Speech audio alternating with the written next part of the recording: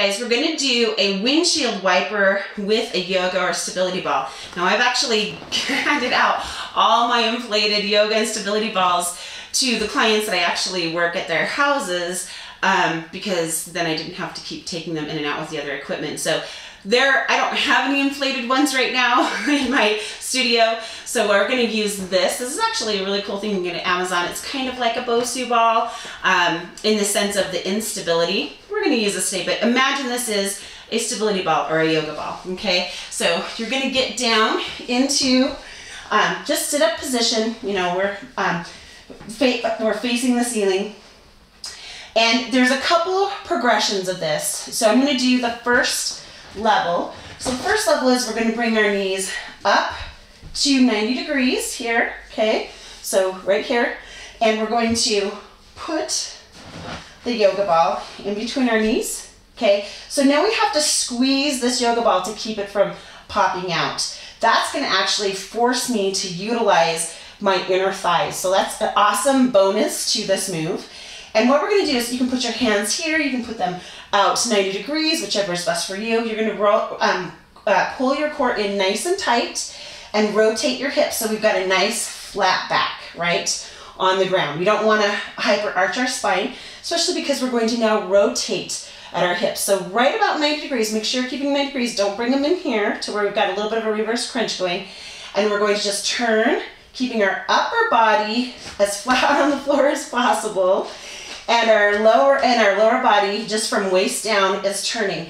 So if you think of when we do wood choppers, how if they're horizontal wood choppers just level with the floor, how I have you keep your lower body stable and your upper body is the only thing rotating.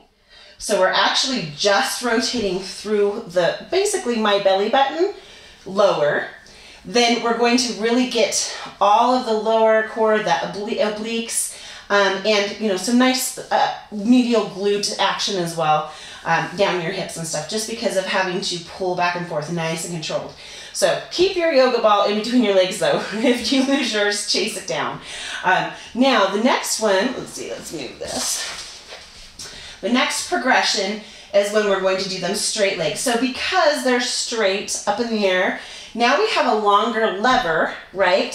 So therefore, whenever we make a longer lever, it's going to be more difficult, okay? So I'm going to focus on making sure I'm really using my core to pull up my legs. What I want you to do, my muscle connection, is I don't want you thinking, let's hope I can't go any further because of that wall there, but I don't want you thinking um, lower and then raise with my outer thigh up. What I want you thinking of is really controlling this core nice and tight, focusing on your core. Feel your core release and control your legs down in a nice controlled way. We're going nice and slow.